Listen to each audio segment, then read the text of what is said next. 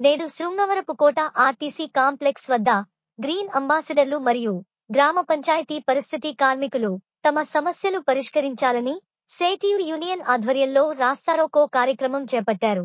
ఈ కార్యక్రమంలో పాల్గొన్నవారు సేటియు యూనియన్ జిల్లా కమిటీ సభ్యులు చెలికాని ముత్యాలు పారిశుద్ధ్య కార్మికులు పొట్లూరి నాగరాజు తత్తడి సన్నీ బాబు చంద్రయ్య కృష్ణ భాస్కర్ దాసు అబద్ధం మురళి తాత తదితరులు పాల్గొన్నారు.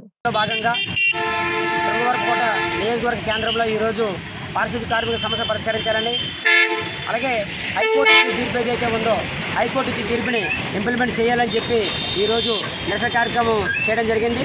ఏదైతే రాష్ట్ర కమిటీ ఇరవై మూడు ఇరవై నాలుగు ఇరవై ఐదు తేదీల్లో చేయమని పిలిపించింది అందులో భాగంగానే ఈరోజు చేయడం జరిగింది.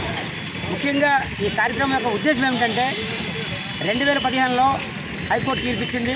కార్మికులందరినీ కూడా తొలగించడం లేదు టెండర్లతో నిమిత్తం లేకుండా కార్మికుల్ని యథావిధిగా కొనసాగించాలని చెప్పి పిలిపించింది. కానీ ఈరోజు టెండర్ల పేరుతో కార్మికులతో పెట్టి అలాగే ఈ కార్మికులకి పిఎఫ్ ఈఎస్ఐ అలాగే ప్రమాద బీమా పది లక్షలు అలాగే గుర్తింపు కార్డులు ఇవ్వాలని చెప్పి సుప్రీంకోర్టు చెప్పింది. గతంలో హైకోర్టు కూడా తీర్పునిచ్చింది. కాబట్టి సుప్రీంకోర్టు ఇచ్చే తీర్పులను హైకోర్టు ఇచ్చే తీర్పులను ఎక్కడ గౌరవించకుండా అడ్డగోలుగా వెళ్ళడం సరికాదని చెప్పి జగన్మోహన్ రెడ్డి గారికి సిపిఎం సిఐటి యూనియన్ తరఫున హెచ్చరిస్తున్నాం. ఇప్పటికైనా సరే ఈ కార్మికుల కోరికలు న్యాయమైన కోరికలు వెంటనే పరిష్కరించండి. కనీస వేతనం ఇవ్వండి.